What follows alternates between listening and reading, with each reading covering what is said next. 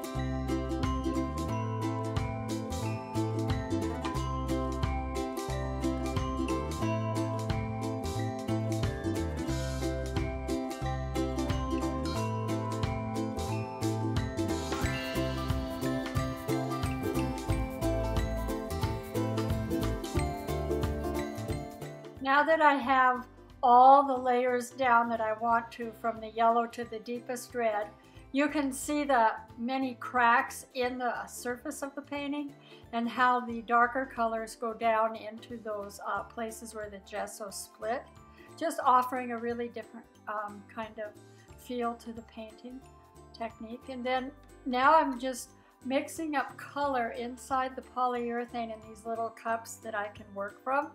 And I'll put those down and then I take the cards again and I just smooth it all out until again it looks right.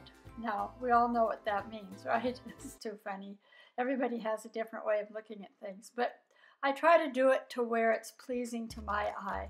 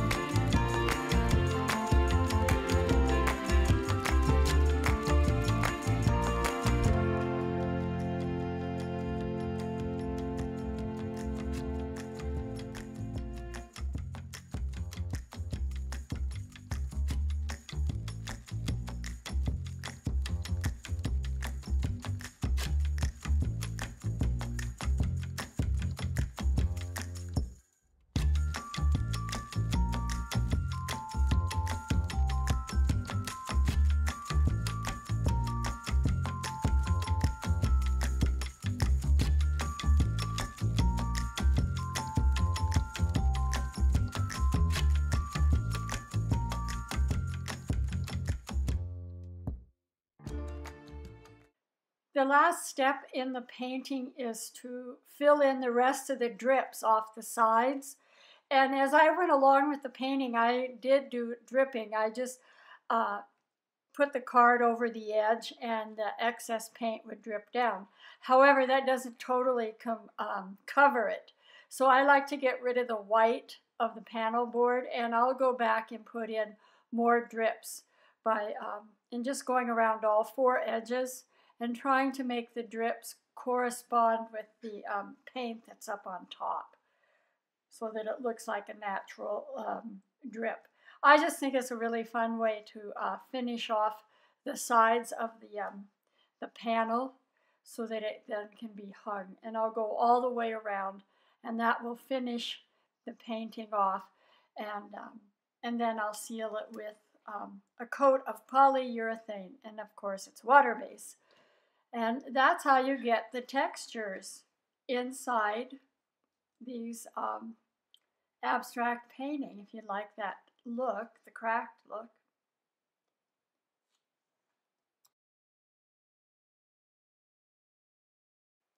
Now it's time to put the last layer, the sealer la layer of polyurethane on top. And I just pour it on.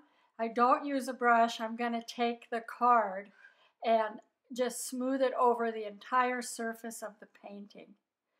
And it just gives it that look of being almost like a glassy pond or a glassy pond or oh, I don't know. Anyway, you know what I mean.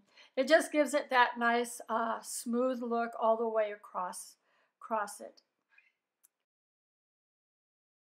I hope you got some good content out of that video.